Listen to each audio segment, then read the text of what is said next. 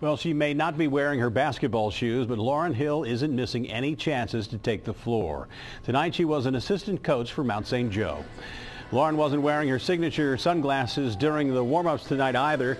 She didn't need a wheelchair, and she stood around for the shoot-around. The 19-year-old battling brain cancer is beating expectations and doesn't plan on stopping anytime soon.